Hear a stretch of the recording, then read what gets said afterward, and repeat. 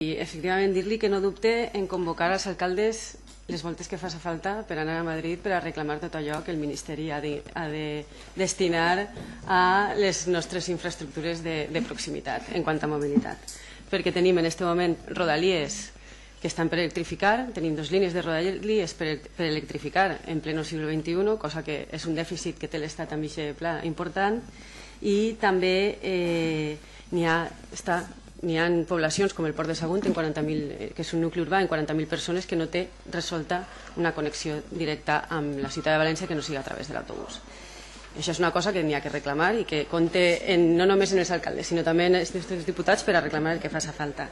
Nosaltres eh, sí que, per una banda, volem felicitar la llavor que s'han fet durant aquests tres anys. La veritat és que posar al dia el desgavell que n'hi havia en 2015, superar el forat de gestió i el forat diguem, de, de, de tramitació que n'hi havia després de, de la liquidació de l'Agència Valenciana de Mobilitat era un repte important eh, però voldríem centrar aquesta, aquesta intervenció en coses concretes, perquè és el moment de buscar també resultats concrets de, tots, de totes aquelles persones que són usuàries del servei, que estan tenint un servei deficient en quant al transport públic, en quant a la connexió, amb, sobretot amb la ciutat de València, i que crec que és la nostra obligació com a governs progressistes, diguem, centrar-nos. De la mateixa manera que Paterna, Vinalesa, Alboraya, Moncada o Mislata, que fins i tot se li ha donat una línia especial, o a aquestes quatre poblacions que se'ls ha ampliat la línia de la MT, volem saber què passa amb Sedaví, que té també que sol·licitar també l'ampliació de la línia 9 de la MT, que té en principi no hi havia diners, però que ha aconseguit diguem, la financiació per, a través de la Diputació i que té eh, tots els informes favorables per part de, de la pròpia MT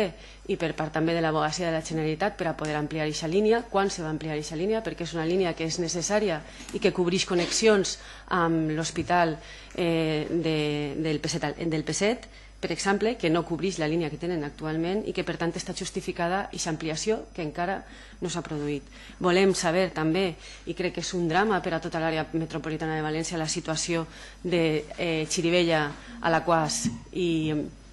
i Aldaia. Eh, efectivament, han tingut un bono transbordo de, de 15,50 euros, però això no ha resolt la situació que tenen. No només tenen el problema de rodalies, perquè ells són unes aquests pobles són, unes, són, una, són un dels pobles que tenen aquestes línies de rodalies sense electrificar i que per tant tenen un servei de rodalies deficient, sinó que a més tenen un servei de transport que no té resolta la, la, la interconnexió amb el servei metropolità de València.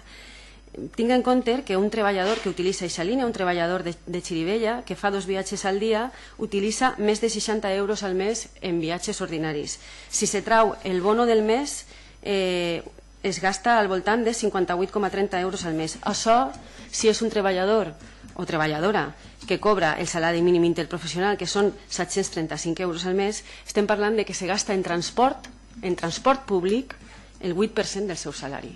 Això per a una zona diguem, de la conurbació de València, per a, una, per a, per a unes poblacions que tenen necessàriament eh, el, el seu, les seues oportunitats econòmiques dintre de, de la pròpia capital són, eh, diguem, són uns preus que, eh, estan, diguem, que tindrien que procurar que foren, que, que foren més accessibles per a totes aquelles persones que tenen major dificultat.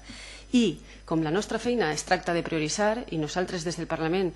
podem proposar en què, en què se pot prioritzar, vostès en el PMOME eh, han identificat que per a cobrir el, el sistema de tarifes integrat farien falta 5 milions d'euros eh, que, tindria, que se tindrien que gestionar. Doncs bé, des de Compromís els demanem que prioritzen en aquests aspectes perquè efectivament tota la llavor administrativa i tota la llavor de posar al dia se té que realitzar, però tenim que ocupar-se de les persones usuàries dels serveis. I a les persones usuàries dels serveis eh, podem ocupar-se d'elles si entrem primer en les tarifes i després parlem de les grans infraestructures. Moltes gràcies. Molt bé, moltes gràcies.